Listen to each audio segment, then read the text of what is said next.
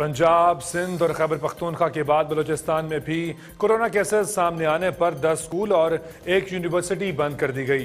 विफाकी वजी तालीम शफकत महमूद कहते हैं कि छह माह में तालीमी इदारे बंद होने से तालीम मुतासर हुई। तलबा की सेहत हमारी पहली तरजीह है।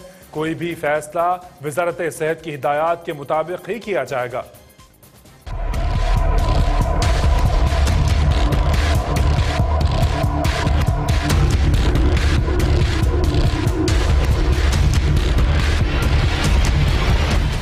कोरोना के खतरात कम न हुए। तालीमी इदारे खुलने के बाद केसेस सामने आ गए। तलबा और स्टाफ के मुतासर होने पर चारों सूबों में कई तालीमी इदारे बंद करवा दिए गए। पंजाब में स्कूल खुलने के बाद बत्तीस बच्चे और दो मुलाजमीन कोरोना का शिकार हो गए।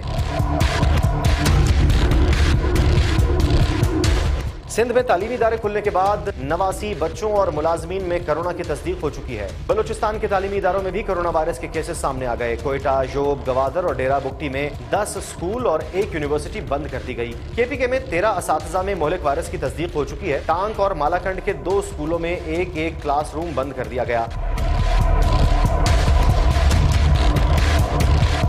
दीरबाला के निजी स्कूल से भी दो केसेस सामने आ गए। वफाकी वज़ीर तालीम शफकत महमूद का कहना है की छह माह तालीमी इदारे बंद होने ऐसी तालीम मुतासर हुई। तलबा की सेहत हमारी पहली तरजीह है। कोई भी फैसला वजारत सेहत की हिदायत के मुताबिक ही किया जाएगा।